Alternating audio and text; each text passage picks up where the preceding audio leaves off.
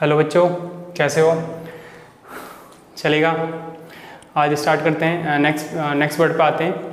और the word which I am going to start in this class is a bit controversial I mean people I mean student specially get confuse when it we talk about this word you know so I am just going to discuss this word in a broad way in a comprehensive way so those who are uh, confused when it comes to talking about this word here i mean in the class so uh, those people can get benefited. So let's start with this. And this word has been asked by the students. I mean i'm just doing uh, letter a. So this word lies in this category. So that's why that is very simple. Uh, I, I want you all to please uh, watch the video. Uh, till till till I just completed okay बीच में नहीं छोड़नी है आपको video because when you leave mid way it can be it can be unsatisfactory because you people you people can not get me okay you can not understand me the way of teaching the way of something I just going to inculcate so you have to be with me you have to bear with me you ना you have to watch the video in a complete manner so let's talk the word here okay let's talk it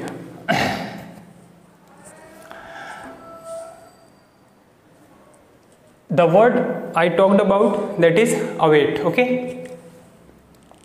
await की अगर बात की जाए बच्चों तो पहले तो वर्ड ये ए से शुरू हो रहा है। जब ये ए से शुरू हो रहा है तो ऑब्वियस सी बात है, मैंने पिछली वीडियोज़ में बता रखा है कि ज़्यादा से ज़्यादा वर्ड जो होते हैं, वो ए वाले जो वर्ड होते हैं, वो टू का सेंस भी छोड़ते हैं। मतलब ये टू का सेंस छोड़ने लगता है। ठीक है? तो यूँ समझिएगा कि टू वेट पहली चीज़। तो टू वेट का मतलब कहीं ना कहीं वेट से कनेक्टेड है, लेकिन थोड़े डिफरेंस के साथ होगा। तो अब जो कंफ्यूजिंग सेंस बनेगा, वो इसका इससे साथ बनेगा। कहीं कहीं आपको एग्ज़ाम में वेट दिया होगा कहीं कहीं अवेट दिया होगा तो आपको इन दोनों को चेक करना होगा। आपको सही से आ, समझना होगा वर्ड को किस हालात में यूज़ किया गया है क्या उसके पीछे बैकग्राउंड है वर्ड के यूज़ करने के पीछे और वर्ड को अगर यूज़ किया जा चुका है तो वर्ड सही से यूज़ हुआ है कि नहीं हुआ है ये इससे संबंधित जानकारी की वो उम्मीद रखेगा आपसे एग्ज़ाम में। ठीक है? तो हम एक एक करके डिस्कस करेंगे। थोड़ी सी क्लास लंबी हो सकती है बट आपको पूरी क्लास देखनी है बच्चों। चलिए। वेट पर अवेट पे आते हैं। तो वेट और अवेट अगर मैं बात करूँ अवेट की तो मैं इसे थोड़ा सा कैटेगराइज करके बताना चाहता हूँ बच्चों। मतलब तोड़ के बताना चाहता हूँ। तो मैं इसे पहले मिटा देता हूँ, फिर से शुरू करता हूँ। चलिए। कैसे शुरू करने हैं, करना है हमें? हम इसे थोड़ा सा तकसीम कर देते हैं। हमने एक हिस्सा ये कर दिया, और इधर हमने लिख लिया वेट और इधर लिख लिया हमने बच्चों अवेट ठीक है? पहली चीज़, ये दोनों, ये जो वर्ड है, ये वर्ब होगा। ये बात तो आपको ध्यान रखनी है। वर्ब का ही काम करेगा। मतलब एक्शन ही है। कहीं इसे नाउन की तरह यूज़ मत कर लेना it cannot be used as a noun in any kind of sentence or any kind of manner, you know? You don't have to use it as an, as a noun there, you know? So, ये ध्यान रखना। Secondly अगर मैं इसकी बात करूँ तो wait जो है वो वर्ब भी होता है और ये एक तरह का नाउन भी होता है। पहली चीज़ कैटेगरी वाइज तो हमें क्लियर हो गया कि साहब कैटेगरी तो इसकी होगी क्लास समझ में आ गई। मतलब क्लास का मतलब हो गया कि जब सेंटेंस में हम इसे देखेंगे तो ये किस चीज़ को बता रहा होगा। अब जैसे तुम्हें ये पता चला ये नाउन है तो अगर ये नाउन हुआ तो नाउन क्या क्या होते हैं? नाउन काम करता है या तो सब्जेक्ट का, या वो ऑब्जेक्ट बन जाता है। ठीक है? सब्जेक्ट होता है या ऑब्जेक्ट होता है? ये दो काम ही होते हैं। भले से कुछ लोग सब्जेक्ट ऑब्जेक्ट को कॉम्प्लीमेंट की तरह भी यूज़ करने लगे, वो एक टर्मिनोलॉजी हो जाती है। मतलब that is just a terminology people start saying that you know तो आपको ये ध्यान रखना है कि ये सब्जेक्ट की तरह काम कर सकता है या ऑब्जेक्ट की तरह काम कर सकता है। पहली चीज़। अब मैं एक एक करके इसका डिस्कशन करता हूँ। पहला डिस्कशन अगर लेके जाऊँ मैं तो वेट की अगर बात करूँ, ऐसे बहुत सारे वर्ड हैं इंग्लिश में। बस बच्चे क्या होते हैं, उसे ग्रामर में ढूंढते हैं। भाई ग्रामर कोई चीज़ नहीं होती है।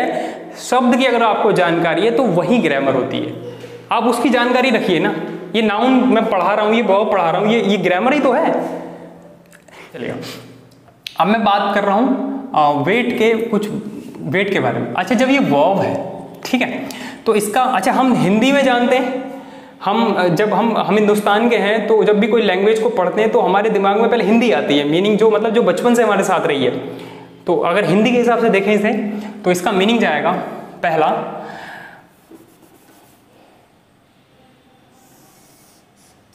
अगर मैं मीनिंग की बात करूँ,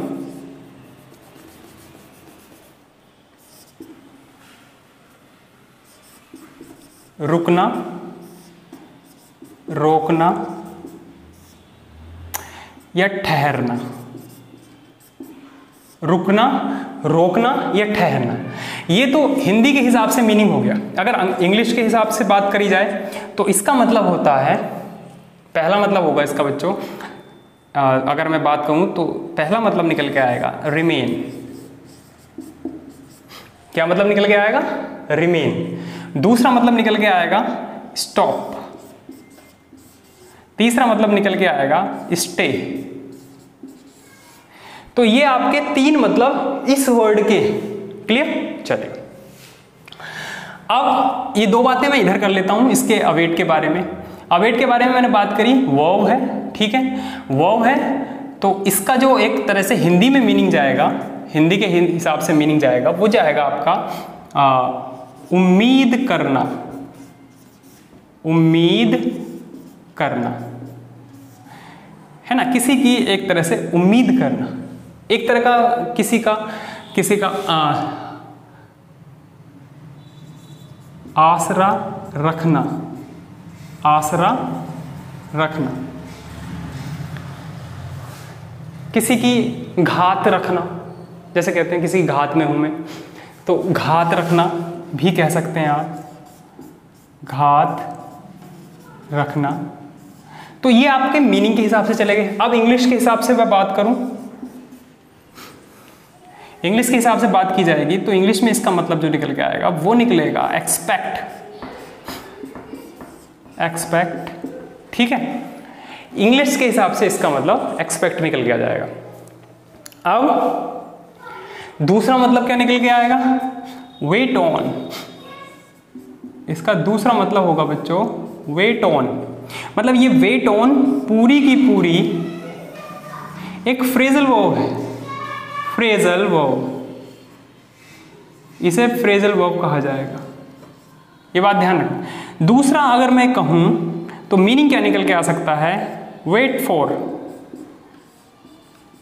इसका दूसरा मतलब निकल के मतलब एक और मतलब निकल के आएगा। और ये वेट फॉर भी एक तरह की पूरी फ्रेजल वर्ब का काम करती है। ये भी फ्रेजल वर्ब है। मतलब पूरी ही पूरी जो ये पार्ट है प्रपोजिशनल पार्ट एडवोवियल पार्ट कह देते हैं इसे हम, ये पूरा वेट के साथ चलेगा, ठीक है? चलिएगा। अब अवेट के बारे में इंग्लिश मीनिंग हिंदी मीनिंग हो गया, ये सारी बातें हो गई। अब हम अगले, आगे अगले पॉइंट पे आते हैं। वेट की बात की जाए तो वेट का मतलब होता है रुकना। अब जब रुकना इसका मतलब है, रुकना, ठहरना तो बच्चों, में कुछ इस बात से, क्योंकि ये वर्ड तभी समझ में आएगा आपको जब दो चार बातें मुझे और भी बतानी पड़ेंगी आपको। मतलब आपको ऐसे क्लियर नहीं हो पाएगा, ठीक है? अच्छा ये जो वेट ऑन मैंने यहाँ लिखाया है, ये वेट ऑन जो लिखाया है, इसका मीनिंग अगर मैं लिखवाना चाहूँगा आपको मीनिंग यानी कि किस तरह से यूज़ करना तो इसका मीनिंग होगा वेट अनटिल वेट क्या मीनिंग होगा? वेट अनटिल अनटिल यू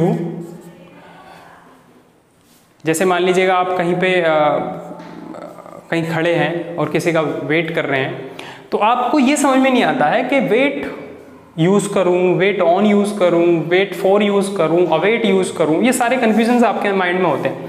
तो ये सारे कन्फ्यूजन्स इसके थ्रू मैं आज पूरा क्लियर करने वाला हूँ। अपने नोट्स बना लेना अच्छे से बच्चों, ठीक है? ठीक है? Until you know the result मतलब ये जो अंटिल मैंने यूज़ करा बच्चों, ये एक तरह का कंजंक्शन है यहाँ पर। कंजंक्शन ये आप ध्यान रखना कंजंक्शन है। Wait until you know the result of an activity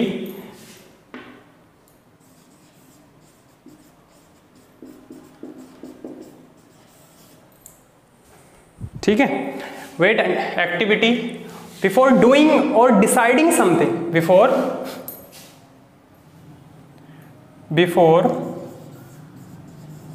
doing और डिसाइडिंग समथिंग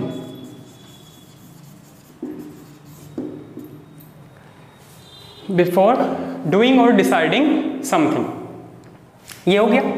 इस बात का मतलब इसका एग्ज़ाम्पल ये हो गया। इस सॉरी इसका मतलब बताने का तरीका ये हो गया कि परिभाषित करने का तरीका हो गया डिफाइनिंग सेंस ये हो गया। अब इस डिफाइनिंग सेंस को मैं एग्ज़ाम्पल की तरह अगर मैं बताऊँ तो जैसे कि वकील होते हैं, वकील किसी वर्डिक्ट का इंतज़ार करते रहते हैं तो ऐसे करके हम इसे कर सकते हैं। The lawyers the lawyers the lawyers wait on the jury's verdict jury's verdict. ठीक है? ये आप समझ गए इसका मतलब? क्या मतलब समझे इसका? कि वेट ऑन अगर कहीं लिखा है तो उसका मतलब होता है कि वेट करो, रुके रहो, क्योंकि वेट का मतलब क्या बताया मैंने? रुकना।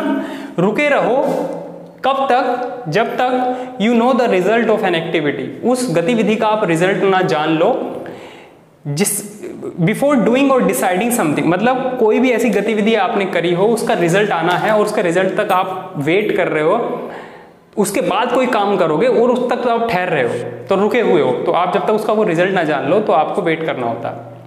मतलब आप उस चीज़ पर ओन आ रहा ना, उस चीज़ पर रुके हुए हो। जैसे कि देखा होगा आपने, आप होटल में जाते हो when you go to hotel and you just place any order आप कोई ऑर्डर प्लेस करते हो। जो the person who comes to you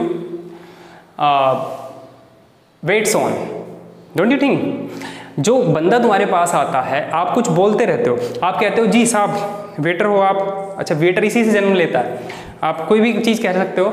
तो आपने कहा कि साहब हाँ जी आ, क्या खाना है? क्या? ऐसे कुछ बोलते हो आप तो वो आप वो अपना मेन्यू कार्ड देखता। तो आप अपना काम करने के बाद वेट कर रहे हो। मतलब ये वेट कर रहे हो आपके वो एक्टिविटी का जो रिज़ल्ट आना है, आपने जो बोला, अब उसका रिज़ल्ट क्या आना मतलब वो क्या बोलेगा आपको खाना लाने के लिए? खाने में क्या बोलेगा वो? तो आप उसका वेट कर रहे हो तो उतने तक आप खड़े हो ऐसे। तो वो वाली स्थिति जो होती है, उसे वेट ऑन करना बोलते हैं। कैसे? अब कुछ लोग डिक्शनरी में लिख देते हैं इसका मतलब कि सेवा करना, किसी की सर्विस करना, सेवा करना मतलब निकाल देते हैं डिक्शनरी में। तो वो ऑब्वियस सी बात है, सेवा बन रहा है क्योंकि आप खड़े हो। आप वेट कर रहे हो, कब वो जवाब देगा? तो आप सेवा भाव से तो खड़े होते हो वहाँ पे। तो इसका सिनेनिम जो बन जाता है, वो सेवा के मामले में, सेवा करने के मामले में वेट ऑन बन जाता सर बन जाता है। तो इसका जो सिनेनिम बनेगा, वो बनेगा बच्चों सर्व सर्व इसका सिनेनिम बन गया और मीनिंग बन गया सेवा करना किसी की। सेवा करना। तो ये वर्ड हो गया आपका और वेट फॉर मैं भी आगे चल रहे हैं हम, ठीक है? ये एग्ज़ाम्पल वेट ऑन हो गया। अब मैं वापस आ रहा हूँ अपनी इस बात पे कि ये ये इधर चल रहा है, वो उधर चल रहा है, ठीक है? हिंदी के हिसाब से, मैंने कहीं भी ये चीज़ नहीं लिखवाई है इंतज़ार करना। ये बात ध्यान रखना। क्योंकि मैं अगर इंतज़ार करना लिखवा दूँगा तो तुम कंफ्यूज होना शुरू हो जाओगे। तुम्हें इंतज़ार करना सीखना ही नहीं है। क्योंकि इंतज़ार करना जो वर्ड है, वो दोनों का मीनिंग निकल जाता है। अगर वो इसका भी मीनिंग निकल जाता है, इसका भी मीनिंग निकल जाता है, मैं दोनों का इंतज़ार करना लिखवा रहा हूँ तो you will get confuse and I don't want that thing to be entertain by you I don't want you to be confuse because if if I just write इंतज़ार करना over here and I I the same over there surely it will create the confusion because the meaning would be the same and you people depend on the meaning of the word given why do you do so that something that creates the confusion, you know. So what do you, we have to do? We have to understand both the words separately okay we don't have to um, uh, uh, we don't have to do something in a hodgepodge uh, situation हमें hodgepodge situation में नहीं करना कोई भी चीज़ को ठीक है this is something okay now अब ये जो रिमेन वर्ड है और ये स्टॉप वर्ड है और जो स्टे वर्ड है इन बात पे थोड़ा फोकस करते हैं अगर बच्चों आपने ये आ, लिख लिया हो है ना I want you to please allow me to rub it okay तो मैं इसको रब कर दूँ एंड उसके बाद आप इसे स्क्रीन शॉट ले लेना whatever you just take they know so you can take and I am just gonna rub it I will discuss these two words again okay दोबारा मैं डिस्कस करूँगा। अगले पॉइंट के साथ, चलेगा? इसे मैं मिटा दे रहा हूँ, ठीक है? इतना मैं मिटा रहा हूँ, बस, और ज़्यादा नहीं।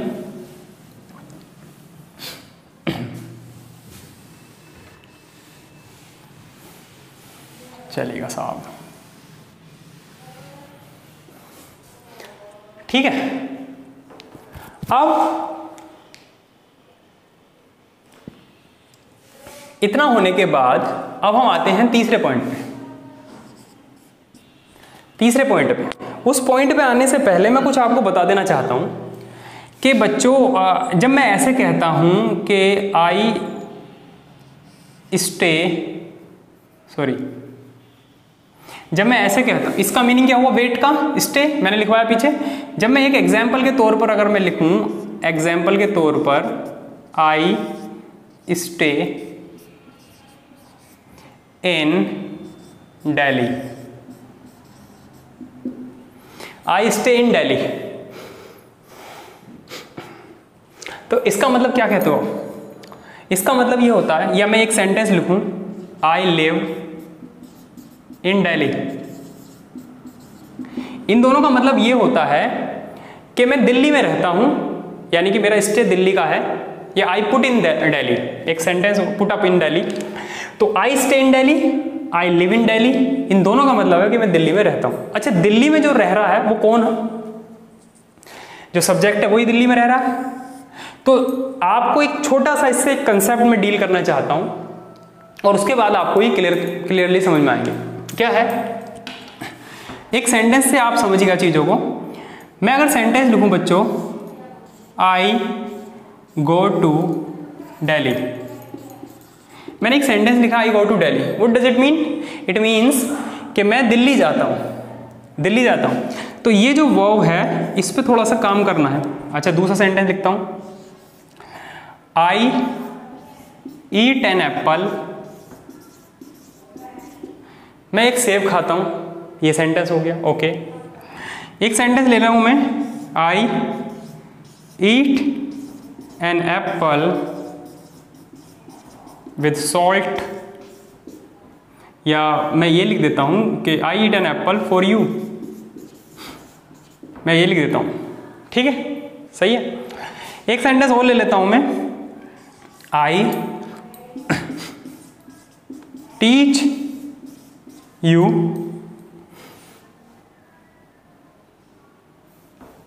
I teach English to you ठीक है? ये एक सेंटेंस हो गया। अब आप एक चीज़ देखिएगा।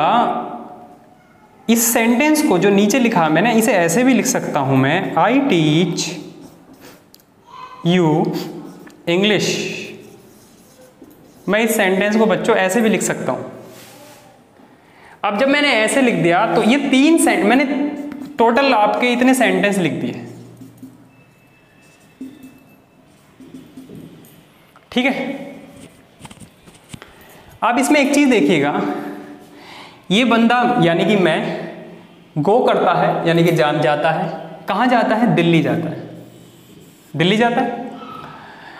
तो जो आपकी डेस्टिनेशन होती है डेस्टिनेशन उसके लिए जो प्रपोजिशन यूज़ करते हैं मतलब जहाँ मंजिल है, उसके लिए प्रपोजिशन हमेशा टू यूज़ करते हैं हम।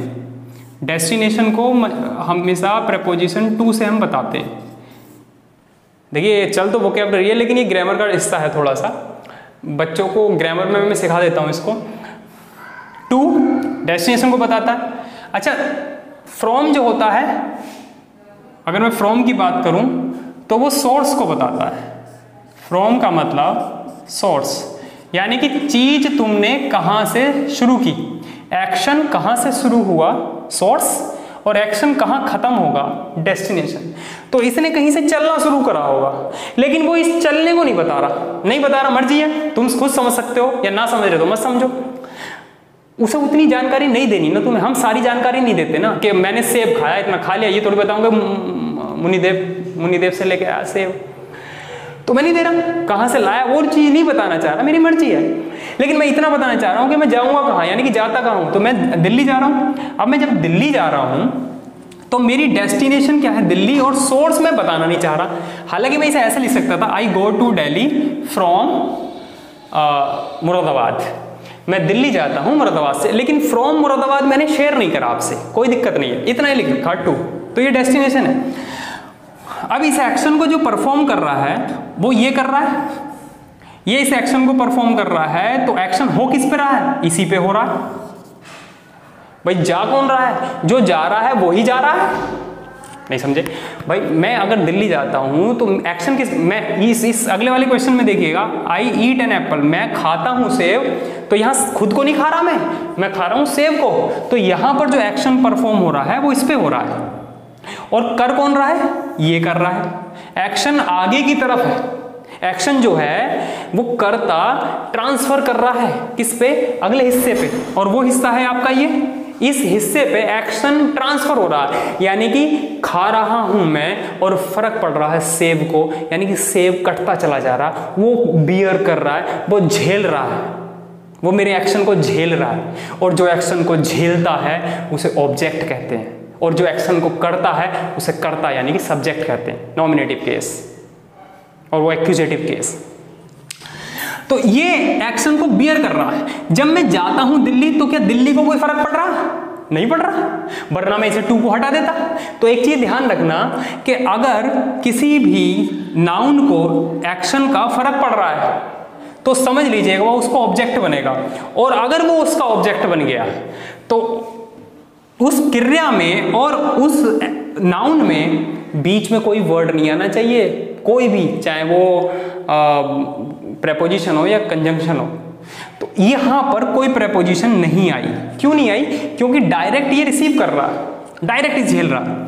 लेकिन इसमें क्या किस्सा हो रहा है कि एक्शन जो हो रहा है, वो दिल्ली को जाने वाला, दिल्ली को कोई फ़र्क नहीं पड़ा, तुम जाओ मत जाओ, दिल्ली वहीं की वहीं है। तो जब दिल्ली को कोई फ़र्क नहीं पड़ रहा तो यहाँ पर अगर मैं टू ना लगाता तो ये हो जाता कि मैं दिल्ली को जाता हूँ। मतलब ऐसे करता हूँ, मैं दिल्ली को पहन लेता हूँ और मैं जाता हूँ। तो दिल्ली पे एक्शन होने लगता, लेकिन दिल्ली को तो कोई फ़र्क नहीं पड़ा। यहाँ पे तो सेब को फ़र्क पड़ रहा, वो कम होता जा रहा। लेकिन यहाँ पे दिल्ली को कोई फ़र्क नहीं। जब दिल्ली को कोई फ़र्क नहीं पड़ रहा तो दिल्ली गो से कोई असर नहीं मान रही, कोई उसे दिक्कत नहीं है। जब दिक्कत नहीं है तो इन दोनों के बीच संबंध थोड़ा सा कम करना पड़ेगा। डायरेक्ट रिलेशन नहीं दिखा सकते। तो डायरेक्ट रिलेशन को तोड़ने के लिए एक ही शब्द काम आता है दैट इज़ कॉल्ड प्रपोजिशन और वो भी ज़रूरत वाली। मतलब जिसको जैसे दिखाना है, क्योंकि तुम डेस्टिनेशन को शो कर रहे हो तो ट्रू दिखाना पड़ेगा तुम्हें। कुछ और दिखाना चाहते तो विद आ जाता बाई आ जाता, जो चाहते वो आ जाता। तो आपने टू दिखा दिया। तो इसमें हुआ क्या एक्चुअल में? इसमें गो का कोई ऑब्जेक्ट नहीं आया। क्योंकि ऑब्जेक्ट तब आता जब क्रिया के बाद तुरंत वो नाउन उसको झेल रहा है। तो यहाँ पे कोई ऑब्जेक्ट नहीं आया। तो इसका मतलब इस क्रिया का कोई ऑब्जेक्ट है नहीं। लेकिन कोई आज तक ऐसी क्रिया बनी नहीं है जिसका कोई ऑब्जेक्ट ना हो। एक्शन अगर हुआ है तो झेला ज़रूर है किसी ने न किसी ने। तो उस चीज़ को जस्टिफाई करने के लिए कि किसी ने न किसी ने ये झेला होगा तो मैं ऐसे जस्टिफाई करता हूँ कि एक्शन मैंने किया और मैंने ही महसूस किया। क्योंकि जब मैं चला हूँ तो पैर मेरे ही थके होंगे। तो मैं ही एक्शन को कर रहा हूँ और मैं ही बर्दाश्त कर रहा हूँ। तो रिसीवर भी मैं, बर्दाश्त करने वाला रिसीवर और करने वाला भी करता। तो ये दोनों मैं ही हूँ। तो ये दोनों एक जगह ही लिखे होते हैं। मैं ऐसे भी तो कह सकता था, आई गो मी। मैं खुद को जाता हूँ। तो वो बताने की ज़रूरत नहीं होती है हमें। तो हम यहाँ पे लिखते नहीं है। नहीं लिखते हैं। ध्यान रखना, यहाँ से कंसेप्ट बिल्ड होगा आपका। तो जब यहाँ नहीं लिखते हैं तो टू डेली हो गया पूरा। तो टू, दिल्ली का गो से कोई मतलब नहीं है। दिल्ली अपनी जगह है। लेकिन ईट का एप्पल से मतलब है। ईट का एप्पल से मतलब जैसी मैं एक मुँह बाइट करता हूँ उसको तो उसको फ़र्क पड़ता है। वो सेब ऐसे था और यूँ हो जाता। तो वो क्या होता है? उसे फ़र्क पड़ रहा है। वो बर्दाश्त झेल रहा है। तो जब वो झेल रहा है तो इसका मतलब ईट इसे अपना ऑब्जेक्ट कहने लगती है और इसका एक ऑब्जेक्ट हो जाता है। ईट। तो इसे कहते हैं हम ऑब्जेक्ट ठीक है? ये बात आप ध्यान रखना। लेकिन ये जो है डेली, ये क्रिया का ऑब्जेक्ट नहीं है। ये किसका ऑब्जेक्ट है? ये टू का है। क्योंकि दुनिया में अगर कोई नाउन है तो या तो वो करता है, या वो ऑब्जेक्ट है। यहाँ पर कर्ता और ऑब्जेक्ट ये दोनों बन गए। ये काम को कर रहा नहीं है तो इसका मतलब कर्ता नहीं बन सकता तो बनेगा क्या सिर्फ़ ऑब्जेक्ट क्योंकि कोई भी नाउन अगर किसी वाक्य में पड़ा है तो वो कर्ता या ऑब्जेक्ट का काम करेगा। अब कोई भी नाउन कैसे रुका रहेगा? किसी से तो किसी से तो रिलेशन दिखाएगा, क्योंकि टू हटा नहीं सकता। इस इस क्रिया का कर्ता ये हो गया, इस क्रिया का ऑब्जेक्ट ये हो गया। ये डेली किसके लिए है फिर? तो ये फिर टू से अपना रिलेशन बना लेता है। ये कहता है, अरे टू हाँ बताओ, मैं तुम्हारा बन जाऊँ ऑब्जेक्ट हाँ। बन जाओ। तो ये डेली इसका ऑब्जेक्ट बन जाता है। तो इसका ऑब्जेक्ट जब बनता है तो इसे कह देते हैं ऑब्जेक्ट बस अंतर क्या है? ये प्रपोजिशन का ऑब्जेक्ट है और ये एन एप्पल ईट का object this is the only difference अब, इसमें क्रिया क्या हुई थी? आगे इसका प्रभाव एक्शन का प्रभाव आगे ना जाकर पीछे की तरफ़ आया, आई पे आया। तो जो पीछे की तरफ़ आती हैं, उनका आगे की तरफ़ से कोई मतलब नहीं है, उनका ट्रांसफ़र नहीं हो रहा। वो आगे की तरफ़ ट्रांसफ़र हो ही नहीं रही, वो उनका ट्रांसफ़र नहीं हो रहा। तो जिन क्रियाओं का आगे की तरफ़ ट्रांसफ़र नहीं होता, उन्हें कहते हैं बच्चों इनट्रांजिटिव उन्हें क्या कहते हैं? इन ट्रांजिटिव उन्हें इनट्रांजिटिव वर्ब कहते हैं, जिनका आगे की तरफ़ ट्रांसफ़र नहीं होता। अब मैं आगे आया। ईट एन एप्पल इसका आगे की तरफ़ ट्रांसफ़र हुआ? मतलब ये जो हुआ एक्शन ये इसने झेला तो आगे की तरफ़ है। तो जिनका ट्रांसफ़र आ गई देखो trans T R A N S trans का मतलब ट्रांसफ़र और आई एन का मतलब विलोम। तो मतलब ट्रांसफ़र नहीं हो रहा है तो इसका मतलब इनट्रांजिटिव हो गई, पीछे की तरफ़ है। अच्छा जो पीछे की तरफ़ है वो हैपनिंग वर्ब भी होती हैं, ये हम ग्रामर में पढ़ लेंगे। अब मैं ये बताना चाह रहा हूँ आपसे कि जो ईट वर्ड है, इसमें आपने एक एप्पल खाया, लेकिन आपने किसके लिए खाया? अब आपने जो सेव खाया है, वो ये देखिएगा, इस एक्शन का प्रभाव इस पे पड़ा है या यू पे पड़ा है? यू पे नहीं पड़ा एप्पल पे पड़ा। तो जिस पे प्रभाव पड़ता है उसे ऑब्जेक्ट कहते हैं क्रिया का। तो ये क्रिया का ऑब्जेक्ट हो गया। लेकिन यू भी तो एक प्रनाउन है। नाउन या प्रनाउन हमेशा किसी भी वाक्य में कर्ता बनते हैं या ऑब्जेक्ट बनते हैं। कर्ता ये बन चुका है तो वो क्या बनेगा? ऑब्जेक्ट लेकिन बनेगा किसका? क्रिया का तो ये बन चुका। तो बनेगा वो प्रपोजिशन का। और प्रपोजिशन वो चुननी पड़ेगी आपको जो आपका मीनिंग बता पाए, जो आप चाह रहे हो बताना। तो ये फोर आ जाएगा आपका। अब फोर का ऑब्जेक्ट हो गया यू तो ये प्रपोजिशनल ऑब्जेक्ट हो गया। इसे कहते हैं प्रपोजिशन का ऑब्जेक्ट ऑब्जेक्ट ही रहेगा ये, लेकिन प्रपोजिशन का। Okay moving to the next word अब इसमें टीच में आए। टीच माने पढ़ाना। क्या पढ़ाना? इंग्लिश किसको पढ़ाना? तुमको। अच्छा पढ़ाया किसे जा रहा? जैसे कि मान लीजिए सामने आप बैठे हो तो मैं पढ़ाने बैठा आपको। तो मैं क्या करूँगा? जो अपने मुँह से यूज़ करूँगा वो वो, मान लीजिए कि मैंने बोला आई मान लीजिए मैंने बोला वोकेबलरी तो वोकेबलरी इंग्लिश वर्ड है, मान लीजिए, ठीक? तो वोकेबलरी पहले गया या यू पहले किया मैंने? तो मैंने पहले वोकेबलरी पहले वर्ड बोला। तो सबसे ज़्यादा फ़र्क जो पड़ा, वो वोकेबलरी रिलेट कर रहा है। मतलब मेरा एक्शन वोकेबलरी वर्ड को ज़्यादा शो कर रहा है। कनेक्शन वोकेबलरी से जा रहा है। तो सबसे पहला ऑब्जेक्ट आपका ये हो गया। जो डायरेक्ट है, इसके और इसके बीच में कोई, बीच में नहीं आ सकता। लेकिन वो बाद में उसे रिसीव हुआ। उसे रिसीव बाद में हो रहा है। पहले चीज़ें छोड़ दी जाएँगी रिसीव बाद में होंगी तो जो दूर की तरफ़ गया है, उससे पहले आपको प्रपोजिशन दिखानी पड़ेगी। तो आपने यहाँ पे एक प्रपोजिशन दिखा दी है। क्लियर तो ये वाला तरीका इस तरीके से भी लिखा जा सकता है। लेकिन एक्चुअल में ये एक इनफॉर्मल लैंग्वेज है। इस तरीके को हमें इस तरह से लिखना चाहिए, ये ज़्यादा करेक्ट होता है और ये कम करेक्ट होता है। अब आपको ये समझना है कि इस टीच के नज़दीक दो ऑब्जेक्ट हैं और एक है हु वाला, यानी कि हुम वाला, और एक है वोट वाला। ठीक है बच्चों? तो हुम और वॉट तो आई टीच यू इंग्लिश मैं तुम्हें पढ़ाता हूँ। क्या? मैं किस को पढ़ाता हूँ और क्या पढ़ाता हूँ? मैं इंग्लिश पढ़ाता हूँ और तुमको पढ़ाता हूँ। तो इसके दो ऑब्जेक्ट तो मैं ये कहना चाह रहा था आपसे, इस क्रिया का एक भी ऑब्जेक्ट नहीं आया? इस क्रिया का एक ऑब्जेक्ट आया? इस क्रिया का एक ऑब्जेक्ट के साथ किसके लिए किया? वो आया। इस क्रिया के दो ऑब्जेक्ट आए और ये दोनों को दो तरीके से लिखा जा सकता है। अब बात ये हुई कि ये वाली क्रिया है ज़ीरो ऑब्जेक्ट ये वाली क्रिया है वन ऑब्जेक्ट और ये वाली क्रिया है टू ऑब्जेक्ट तो दुनिया में तीन तरह की क्रियाएँ हैं ज़ीरो ऑब्जेक्ट वन ऑब्जेक्ट और टू ऑब्जेक्ट इसको खोल कर मैं ग्रामर वाली क्लास में समझा सकता हूँ क्योंकि वर्ड रह जाएगा वरना। अब मैं आपसे इससे यह कहना चाह रहा था, ये जो गो है, ये ज़ीरो ऑब्जेक्ट मतलब इसके बाद ऑब्जेक्ट नहीं आ सकता। इसके बाद ऑब्जेक्ट नहीं आ सकता। लेकिन मुझे कोई नाउन तो देना है, क्योंकि मैं किस किसके लिए रुक रहा हूँ, कि कुछ कर रहा हूँ, वो तो मुझे दिखाना पड़ेगा ना। तो मैं जब इस, इसे, इसके बाद अगर मैं इसकी बात करूँ स्टे की तो स्टे जो वर्ड है बच्चों, इसकी अगर आप मीनिंग पे चले जाओ तो मीनिंग ये है कि मैं रुकता हूँ दिल्ली में। तो मैं जब रुकता हूँ दिल्ली में तो मैं खुद को ही तो रुकता हूँ। मतलब मैं मैं ही तो रुका। मतलब मैंने अपना आप को रोका। मैंने अपना आप को रोका। यानी कि मैंने लिखवाया था पीछे, रुकना, रोकना। तो मैंने रुका मैं, या मैं यूँ कहूँ, मैंने खुद को रोका। तो मैं यहाँ पर करता भी हूँ और मैं यहाँ पे ऑब्जेक्ट भी हूँ। जब मैं दोनों काम कर रहा हूँ तो इस क्रिया का, इस क्रिया का करता भी यही हो गया और इस क्रिया का ऑब्जेक्ट भी यही हो गया।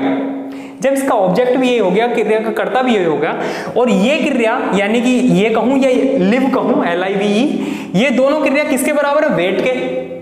वेट के बराबर है। तो इसका मतलब ये हुआ कि इनके बाद एकदम से कोई यहाँ ऑब्जेक्ट नहीं आएगा। मैं इसे मिटा दूँ, दोबारा से बता देता हूँ आपको।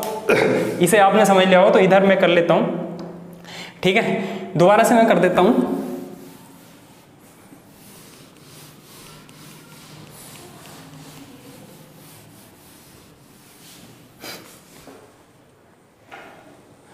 बाल देखो, बच्चों, मैं ये कहना चाह रहा हूँ, देखिए। मैंने एक सेंटेंस लिखा आई स्टे इन दिल्ली इसका मतलब है मैं दिल्ली में रहता हूँ। मैं दिल्ली में रहता हूँ। कौन रहता दिल्ली में? मैं ही तो रहता हूँ। तो ऑब्जेक्ट भी मैं ही हूँ और करता भी मैं ही हूँ। दोनों काम मैं ही कर रहा हूँ। अच्छा दिल्ली से फिर क्या अगर मैं इन हटा दूँ यहाँ से तो इसका मतलब हो गया कि दिल्ली किसी चीज़ का नाम है और नाम नाउन होता है। नाउन या तो करता होता है या सब्जेक्ट ऑब्जेक्ट होता है। करता तो ये हो गया तो फिर ये ऑब्जेक्ट बन जाएगा स्टे का, जबकि स्टे को स्टे को ऑब्जेक्ट चाहिए नहीं, क्योंकि स्टे का ऑब्जेक्ट तो आई है। तो इसी वजह से मुझे इन लगाना पड़ा और वो ज़रूरत के हिसाब से मतलब कैसी स्थिति दिखाना चाह रहा हूँ। तो सेंटेंस सही हो गया। लेकिन एक बात देखिएगा, ये स्टिक किसके तुल्य है? ये वेट के तुल्य है।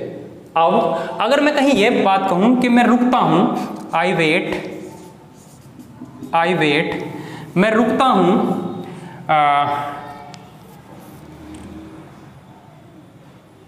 मैं रुकता हूँ। अगर मैं यहाँ यू लगा दूँ। मैंने इतना सेंटेंस लिख दिया। तो और तुम्हें यहाँ पर कुछ भरना है। ठीक है?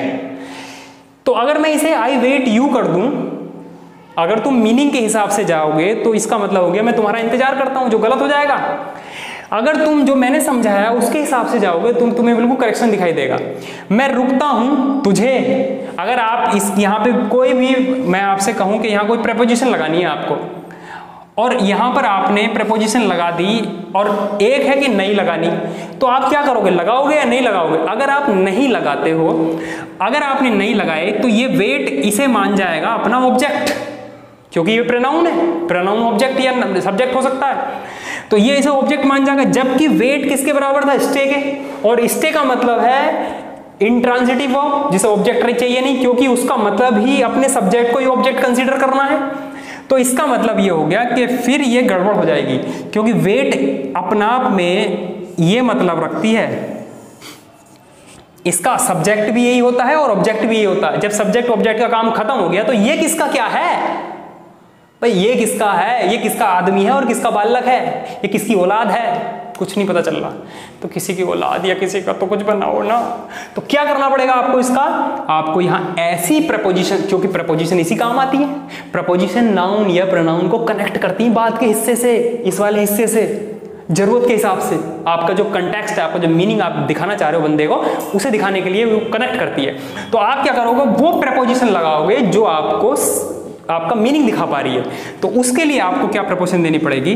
फॉर तो अब आपको एक चीज़ समझ में आनी चाहिए कि वेट के बाद आपको प्रपोजिशन देनी ही है।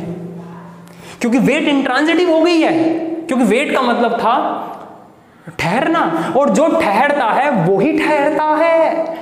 वो ही अपना आप को ठहरवाता है। मैं मैं मैं I live I live in somewhere you know like I live in Delhi तो मैं दिल्ली में किसको रोक रहा हूँ? मैं खुद को ही तो रोक रहा हूँ। खुद को जी रहा हूँ। वही रोक के रखा मैंने अपने आप को। आई लिव माई सेल्फ तो जब आई लिव माई सेल्फ तो फिर लिव को तो मिल गया माई सेल्फ तो फिर उसका ऑब्जेक्ट आएगा नहीं। यानी कोई इंट्रांजिटिव हो गई, क्योंकि उसका ऑब्जेक्ट उसके आई में ही रखा है। मेरे तो पति ही मेरे बालक है, उसी ने रखा है। तो इसका मतलब ये हो गया कि ये जो फोर है, ये अगर ना लगाओ आप तो फिर ये गड़बड़ हो सकती है कि इस वेट का ऑब्जेक्ट आई भी है और इस वेट का ऑब्जेक्ट यू भी हो जाएगा, जो संभव नहीं है। हो ही नहीं सकता। तो आपको क्या करना पड़ता? फोर लगाना पड़ता। तो एक, इससे क्या चीज़ समझ में आई आपको? कि वेट के बाद फोर आएगा। ठीक है, अब मैं यहाँ लिख देता हूँ। अब हम इसे फिर से उधर की तरफ़ एक कंटेक्स्ट मतलब एक मीनिंग तक पहुँच चुके हैं। और वो क्या मीनिंग बन के आया है? हमने जो थर्ड पॉइंट लिखा था कि थर्ड पॉइंट था बच्चों आपको इन ट्रांजिटिव वर्ब होती है। इन ट्रांजिटिव वर्ब है ये। और वो उसकी बात अभी करने वाला हूँ। चलो कर ही लेते हैं। ये क्या होती है? ये ट्रांजिटिव वर्ब होती है। क्योंकि एक्सपेक्ट का मतलब होता है वोट एक्सपेक्ट वोट इसके बाद आपको हमेशा वोट का रिप्लाई चाहिए।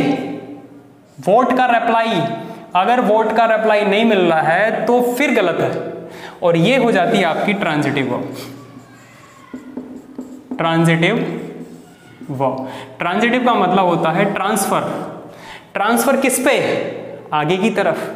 तो ट्रांजिटिव वर्ब है। एक एक एग्जांपल ले लेते हैं। जैसे कि I I wait for the lunch मैं लंच के लिए वेट करता हूँ। ये कर रहा हूँ, जो भी कहना चाहो वो कह देना। इधर अगर एग्ज़ाम्पल पे जाएँ तो I wait sorry await the lunch मैं लंच को अवेट करता हूँ। यानी कि मैं लंच की उम्मीद करता हूँ।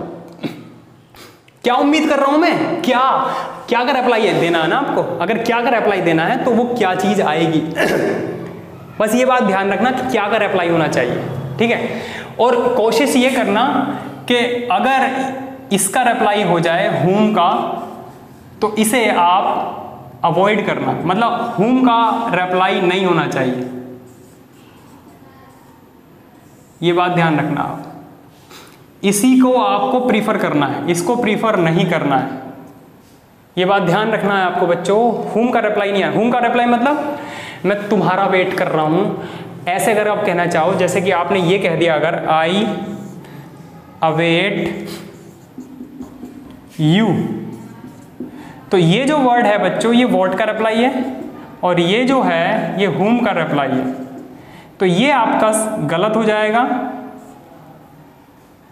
ये सेंटेंस गलत और ये सेंटेंस सही। याद रखना अवेट के बाद जो प्रीफर प्रीफर किया जाता है, वो वोट का रिप्लाई किया जाता है। यानी कि निर्जीव इन एनिमेट ऑब्जेक्ट तो याद रखना, इसके बाद हमेशा ये आएगा। अगर मैं एक ऑप्शन पॉइंट करके लिखवा दूँ अवेट के बाद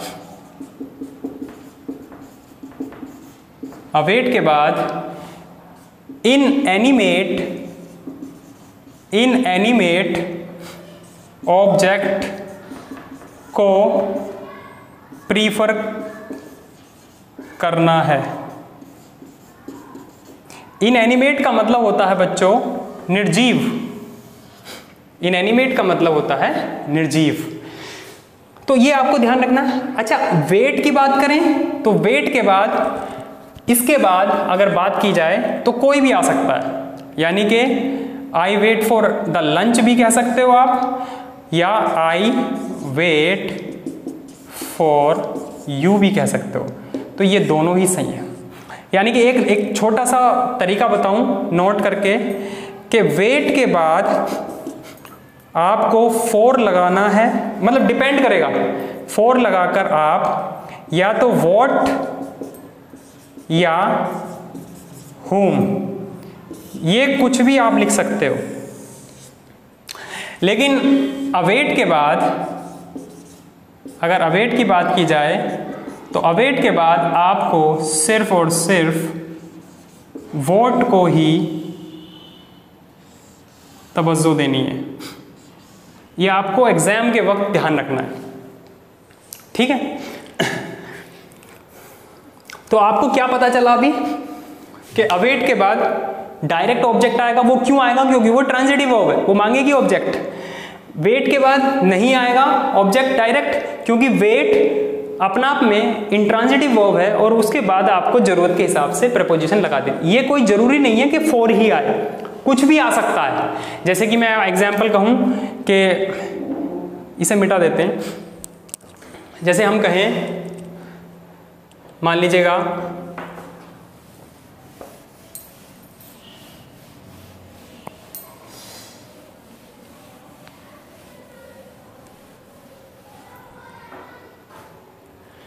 मान लीजिएगा मैं कहूँ आपसे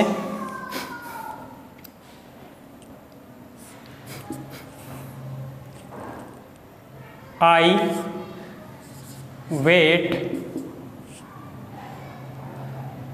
I wait at the door या एट द गेट तो इस सेंटेंस का मीनिंग क्या हुआ? सही है सेंटेंस प्रपोजिशन एट आ गया। कोई दिक्कत नहीं है। आपका मीनिंग ये सही है। आप जो बोलना चाह रहे हो बोल रहे हो और उसका ग्रामर भी सही है। इसका मतलब हुआ कि मैं रुकता हूँ कहाँ पे? गेट पे। या आप ऐसे कहिएगा wait a minute wait a minute या यूँ कह सकते हैं आप wait I just come wait I just come तो इसका मतलब है कि I wait at the gate wait a minute wait I adjust तो आप ये देखिएगा कि वेट के बाद ये जो वर्ड आया है, अब आप खुद सोचिएगा कि वेट के बाद तो फोर आता। इसमें तो नहीं आ रहा फोर तो बच्चों, मैं ये कहना चाह रहा हूँ कि इंग्लिश में आपको ज़रूरी नहीं कि जो आपने पढ़ा है, वो ही एग्ज़ाम में फ़ायदा पहुंचाएगा। आपका जो दिमाग है, जो आप समझते हो चीज़ों को, वो फ़ायदा पहुंचाएगा। देखिएगा वेट कोई ऑब्जेक्ट नहीं माँगता। अच्छा अ मिनट ये क्या है? अपना आप में एक नाउन है, क्योंकि ए आ रहा। लेकिन आप इसका मीनिंग तो देखिएगा। क्या मीनिंग है इसका? कि एक मिनट रुको, जैसे कि वेट वेट रुको वेट जैसे कोई आया आ, गाड़ी से बाहर निकला वेट हमें जरा चेक करना है वेट। तो आपने कहा वेट अ मिनट। तो उसका मतलब हुआ कि एक मिनट रुको। कितने मिनट रुको? समय में गई बात। और जो समय को इंगित करता है जो समय को बताए वो एडवर्ब होता है। मतलब आपको एक्शन कितनी देर तक परफॉर्म करवाना है तो वो एक्शन आपको परफॉर्म करवाना एक मिनट तक। तो एक मिनट यहाँ पर ऑब्जेक्ट नहीं है बच्चों, ये एक एडवर्ब है। तो यहाँ पर ये हो गया एक तरह का एडवर्ब और इसमें भी बात करी जाए तो यहाँ पर वेट एक तरह का इंटरजेक्शन है। एक तरह से इंटरजेक्शन की तरह काम कर रहा है। एक्सक्लेमेटरी है। है तो वर्ड तो एक्सक्लेमेशन के सेंस में जा रहा। है या आप यूँ कह सकते हैं कि इसके बाद कोई फोर या ऑब्जेक्ट या कुछ भी नहीं आ रहा। तो ज़रूरी नहीं कि वेट के बाद कुछ आए। डिपेंड करेगा आपकी सिचुएशन क्या है। वेट अ मिनट और यहाँ पर मैं गेट पर इंतज़ार करता हूँ तो ऐट आ गया। मैं गेट पर, मैं तेरे लिए रुकता हूँ। मैं तेरे लिए ठहरता हूँ। मैं तेरे लिए यहाँ रुका हूँ। तो मैं तेरे लिए रुका हूँ तो फोर आ जाएगा। मैं गेट पर रुका हूँ तो एट आ जाएगा। मैं दरवाजे पर रुका हूँ तो एट आ जाएगा। मैं हॉल में रुका हूँ तो इन आ जाएगा। मैं रमेश के साथ रुका हूँ। एक सेंटेंस ले लेते हैं। I I am waiting I am waiting with Ramesh या राम। मैं राम के साथ रुका हुआ हूँ, मैं राम के साथ रुका हूँ तो विद आ गया। तो बेटा इंग्लिश एक लैंग्वेज है। ये इंटेलेक्चुअल सेंस इसमें ज़रूरत होती है आपको समझना होगा। जो पढ़ गए, वो ज़रूरी नहीं है, वो ये लैंग्वेज लैंग्वेज भावनाओं पे डिपेंड करती है। आप क्या कहना चाहते हो, उस पर डिपेंड करती है। आप देखो, एक सेंटेंस में लूँ आपसे, मैंने कह दिया she is a boy she is a boy अब ग्रामेटिकली तो गलत है। ग्रामेटिकली तो गलत जा रहा। लेकिन चीज़ सही है। चीज़ कैसे सही है बच्चों? क्योंकि शी तो भाई लड़का हो नहीं सकती, लेकिन इसके पीछे का जो एक, इसका जो फ्लिप साइड है, जो दूसरा पक्ष है, जो पहलू है इसका, जो पिछली बैकग्राउंड है, उस बैकग्राउंड पे झांको। ये स्थिति क्या थी जब इस, किसी बॉय को किसी शी को बॉय बोला गया? मान लीजिएगा रामलीला हो रही है गाँव में, और उसमें चल रहा चित्रहार। चित्रहार में बहुत बड़ा नाचो सब लोग देख रहे हैं ये लड़की कौन है यार? होशी और बड़ा अच्छा नाच रही यार। तो सब डांस देख रहे हैं। अब गाँव में सुबह को रामलीला बंद हो गई। अब इसका इसका पीतम का छोटा वाला उधर की तरफ़ जा रहा। जाए गाँव में क्या होता है, रामलीला जब खत्म हो जाती है तो सुबह को दिन भर दो चार तो उधर ही पड़े रहते हैं, रामलीला वाले लोगों के पास। तो ये गया घूमने तो वो वो तो पत्थर पे बैठा हुआ जो रात नाच रही थी, वो पत्थर पे बैठा हुआ गन्ना खा रहा, वहीं रामलीला के टेंट के आगे। तो इसने देखा हाँ अरे तू, तुम तो वो थी, बनी थी? हाँ वह बनी थी ना, बना था। बलवीर नाम है। बलवीर नाम, अब ये आके गाँव में बताया। गाँव में बताया, अबे इंग्लिश में बोल रहा है। अबे she's a boy she's a boy अबे, वो लड़की नहीं, वो लड़का है, वो लड़का है। तो शी तो इसलिए बताना पड़ा क्योंकि हमें पहले पता था कि ये लड़की थी, और फिर वो बॉय इसलिए बताना पता क्योंकि इन्फॉर्मेशन देनी है। तो आप ये समझिएगा कि ये सेंटेंस सही है। गलत नहीं है इसमें कुछ भी। क्या इतना दिमाग आपका दौड़ता है ग्रामर को पढ़ने से पहले? नहीं दौड़ता। क्योंकि आपने रूल्स इतने भर रखे हैं, आप कुछ नया सीखना ही नहीं चाह सकते। दिमाग बिल्कुल खाली करके दोबारा से इंग्लिश को पढ़ो। बड़ी क्लियर है, साफ़ दिखाई देगी। लैंग्वेज है। इंसानों के द्वारा यूज़ हो रही, भैंस को नहीं पढ़ाऊँगा तो उसे समझ में नहीं आएगी। हमें आ सकती है भाई, हम क्यों डरे बैठे हैं? तो मैं ये कहना चाह रहा हूँ बच्चों कि शी ये ये समझ गए आप, ठीक है? तो आप ये ध्यान रखना इंग्लिश को आपको समझना है। यू हैव टू कॉम्प्रीहेंड तो ये कुछ भी हो सकता है विद हो सकता है एट हो सकता है फोर हो सकता है। किसके लिए आप कर रहे हो, वो हो सकता है। किसके लिए रुके हो, मैं तेरे लिए रुका हूँ यहाँ। I am waiting I am waiting here for you waiting के बाद हियर आ गया है ची आरी एडवर्ब आ सकता है। एडवर्ब प्लेस है। लेकिन फॉर यू बाद में आ गया। तो आप डिपेंड करता, आप क्या कहना चाह रहे हो तो।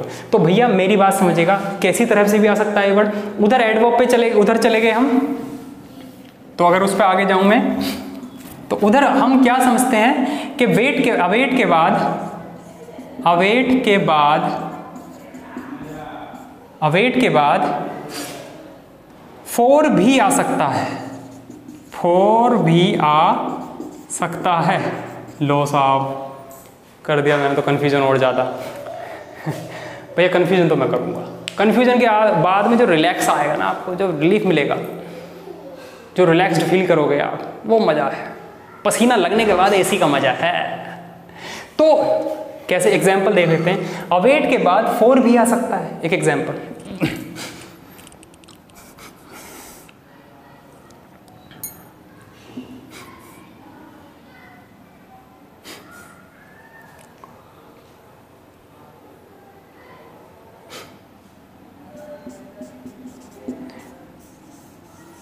the result I have sorry. The result I have I have been waiting. The result I have been awaiting for two years is यहाँ पे दैट लगा लीजिएगा बच्चों that that is out now ये एक मैंने सेंटेंस लिखवाया आपको। The result that I have been awaiting for two years is out now मतलब जो रिज़ल्ट है, जिसका मैं इंतज़ार कर रहा हूँ मतलब that I have been waiting जिसका मैं इंतज़ार कर रहा हूँ, इंतज़ार मत पढ़ो उसे, जिसको मैं एक्सपेक्ट कर रहा हूँ। जिसको मैं एक्सपेक्ट कर रहा हूँ, वो आउट हो गया। है यानी कि द रिज़ल्ट का जो एक रिलेटिव प्रोनाउन आपने लिया है दैट द रिज़ल्ट का रिलेटिव प्रोनाउन है, और रिलेटिव प्रोनाउन का मतलब प्रोनाउन और प्रोनाउन किसी ना किसी का ऑब्जेक्ट या सब्जेक्ट होता है। अब इस क्रिया का अवेटिंग का सब्जेक्ट तो हो गया आई तो अवेटिंग का चाहिए ऑब्जेक्ट क्योंकि वोट का रिप्लाई माँगता है। तो ये जो वोट का रिप्लाई यहाँ पर आना चाहिए था, जो मैंने नहीं दिखाया, वही तो ये है। रिज़ल्ट तो वो स्वतः ही उसने ले लिया होगा। और जो फोर आया है, ये फोर टाइम के एक फ्रेज बनी है। टाइम फ्रेज बोलते हैं और इसे बोलते हैं एडवो फ्रेज। एडवो फ्रेज है, कितने वक्त से।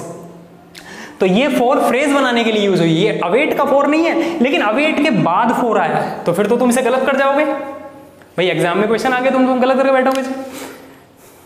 तो बताओ कैसे करनी तो मैं ये कहना चाह रहा हूँ कि कुछ भी निश्चित नहीं होता है इंग्लिश ग्रामर में। मैं जो बच्चों को पढ़ाता हूँ अपने, मैं, इसलिए कहता हूँ बच्चों से कि बच्चों, कोई भी चीज़ पक्की नहीं है, बदलती है। कभी कभी आंसुओं में खुशी होती है और कभी कभी खुशी में आँसू। तो आप ये ध्यान रखना कि ज़रूरी नहीं जो आदमी अच्छी बातें कर रहा है वो बातें अच्छी हों, गलत भी हो सकती हैं, और जो गलत बात कर रहा है, वो अच्छी भी हो सकती है। तो लैंग्वेज में जो दिखता है ज़रूरी नहीं, वो समझना चाहिए आपको। आपके अंदर फीलिंग्स है। भगवान ने आपको दिल और दिमाग दिया है। आपको समझना आना चाहिए। आप गुलामियत में क्यों ज़ीरो भैया? Why are you living in an slavery वो वो वो वोट फॉर तो मैं ये कहना चाहता हूँ कि the result I have been awaiting for इस अवेट का जो मुझे वोट चाहिए था ऑब्जेक्ट वो यहाँ पर है। अरे बात, ये वाला दैट ये दैट जो इसका रिलेटिव प्रोनाउन है, वो ये है। और यही रिज़ल्ट इस इज़ का सब्जेक्ट भी है। सेंटेंस बैलेंस्ड है। बैलेंस सेंटेंस सही सेंटेंस है। लो। तो अवेट के बाद फोर भी आ गया। अवेट के बाद तुम्हें ऑब्जेक्ट ढूंढना पड़ेगा। सेंटेंस में पड़ा होना चाहिए कहीं ना कहीं और नहीं पड़ा तब गलत था ये वाला फोर तब गलत है ये वाला फोर तो आप ये समझिएगा कि अवेट के बाद फोर भी आ सकता है अवेट के बाद फोर नहीं भी आता है। वेट के बाद फोर भी आ सकता है वेट के बाद फोर नहीं भी आता है वेट के बाद कुछ भी आ सकता है डिपेंडिंग ऑन द सिचुएशन अब एक बात और ध्यान रखनी है आपको, पाँचवें नंबर पे इधर आ जाता हूँ मैं, कि इसका पैसिव बनता है। Passive voice is made I mean passive voice is valid लेकिन इसका पैसिव वॉइस वैलिड नहीं है। मैं मिटा देता हूँ इसको।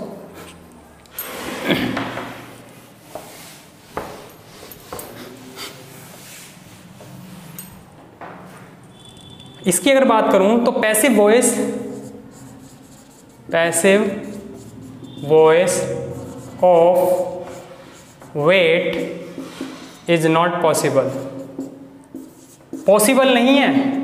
मैं प्रूफ करूँगा उसे, लेकिन अगर आप अफोर्ड कर सकते हो मुझे तो।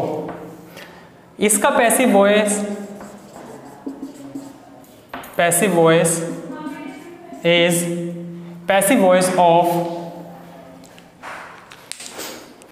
passive voice of await is possible ये बात ध्यान रख। एक एक एग्ज़ाम्पल ले लेते हैं। एग्ज़ाम्पल के तौर पर, मैं जैसे कहूँ आपसे, मैं आपसे कहूँ कि I am waiting for the result और अगर इसका पैसिव मैं बनाऊँ तो the result is being waited for by me ये वाला बना।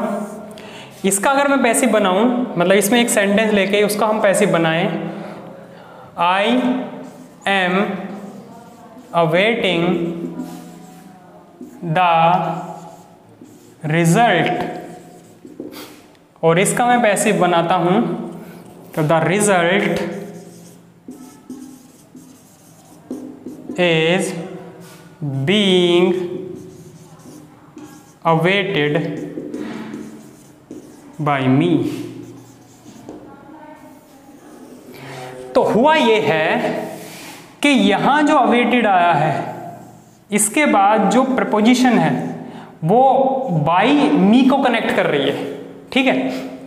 इसके बाद जो ये दो प्रपोजिशन आ रही हैं तो ये कनेक्ट नहीं हो पा रहा है कि फोर और बाई एक साथ लगने के बाद ये कनेक्ट नहीं हो पा रहा कि फोर द रिज़ल्ट को बता रहा है कि किसी बाई मी पूरी फ्रेज को बताने लगा है। तो इसीलिए आप जब भी पैसिव की बात करोगे तो पैसिव इसका वैलिड नहीं होगा, आप पैसिव उस तरह से दिखाओगे। यानी कि इसमें अवेटेड अवेट को हम एडजेक्टिव बना सकते हैं।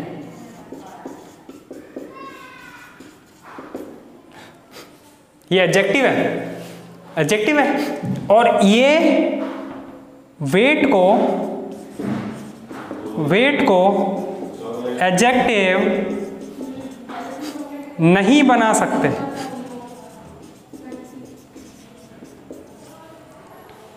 तो याद रखना एडजेक्टिव फॉर्म पैसिव सिर्फ़ इसी का बन पाएगा। उसका पैसिव आप नहीं बना सकते। फॉर्मल नहीं होता है। बहुत सारी वजह है उसके पीछे। तो फॉर्मल नहीं होगा तो याद रखना पैसिव इसी का बनेगा, यानी कि अवेटेड होगा वेटेड नहीं होगा। तो जैसे कहते हैं एग्ज़ाम्पल के तौर पर द मूवी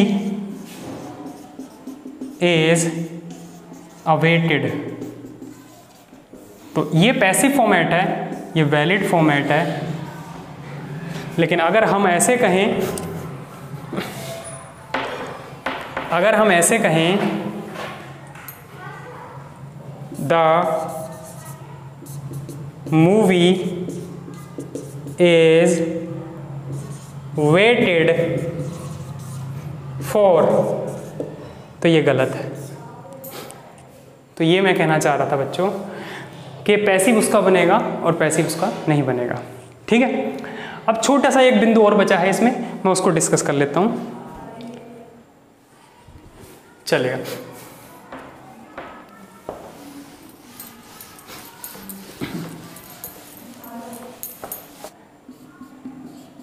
लिविंग बीइंग उसके बाद अवेट और उसके बाद नॉन लिविंग ये बताया मैंने? ये यही है। ये वोट का रिप्लाई होना चाहिए। ठीक है? ये इस तरह से हम करते हैं इसको। नॉन लिविंग ये इसका फॉर्मेट होता। अवेट वाले हिस्से में लिखना बस। ठीक है? कब फॉर्मेट होता? जैसे कि मैं कहूँ I await I await I await your I await your coming या योर अराइवल तो ये सही है, ठीक है? इसका पैसिव भी बन जाएगा, ये सही है। लेकिन अगर ऐसे कहें कि I await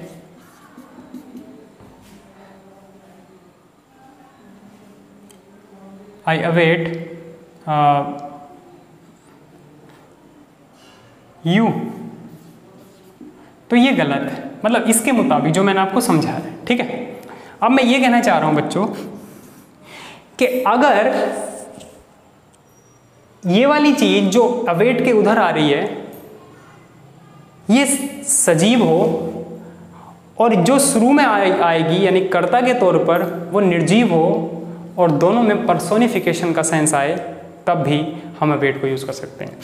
यानी कि मेटाफोरिकली मेटाफोरिकली और फिगरेटिवली फिगरेटिवली और in an abstract sense abstract sense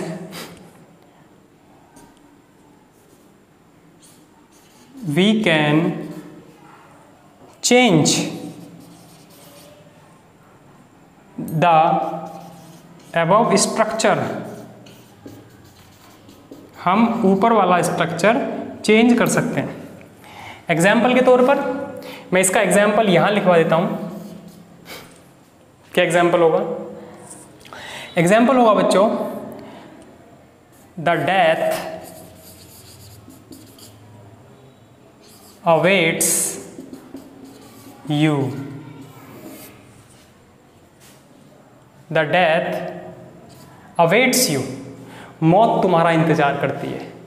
तो जब हम किसी चीज़ को फिगरेटिवली यूज़ करते हैं, यानी कि मेटाफोरिकली यानी कि लाक्षणिक तौर पर when we use something in a figurative sense तो उस सेंस में हम निर्जीव चीज़ को पहले रख सकते हैं और सजीव चीज़ को अवेट के बाद रख सकते हैं। मतलब ये वाला स्ट्रक्चर चेंज हो जाएगा। कब? जब मेटाफोरिकली मेटाफोरिकली मतलब रूपक रूपक सेंस दिखाने के लिए, कि किसी इंसान का रूप देते हुए। अब ये डेथ है, कोई आदमी तो है नहीं। ये इंतज़ार कर रही है किसका? तुम्हारा। तो ये फिगरेटिव सेंस है। मतलब डेथ को इंतज़ार थोड़ी कर सकती है। ऐसे आदमी थोड़ी है डेथ जो इंतज़ार करेगी। या यूँ कहें कि the the success awaits awaits you. The success awaits you. कामयाबी तुम्हारा इंतज़ार करती है। या ग्रैंड वेलकम आपका हो रहा है। मान लीजिए आपने किसी को फ़ोन करा, भाई तुम आए नहीं। वेलकम तुम्हारा इंतज़ार कर रहा है, स्वागत तुम्हारा इंतज़ार कर रहा है, यानी कि the welcome the welcome awaits you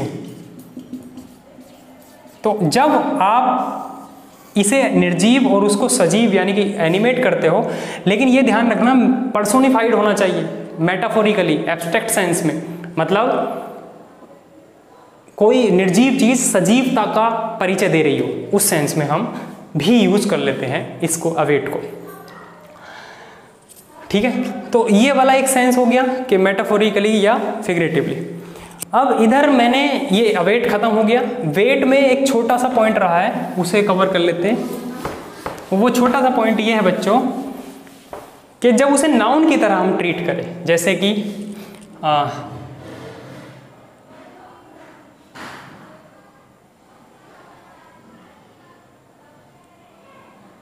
I. Wait की बात करते हैं। Wait can be use as a noun example के तौर पर अगर कहें हम वेट को हम नाउन की तरह भी यूज़ कर सकते हैं। क्या किया जा सकता है। जैसे कहें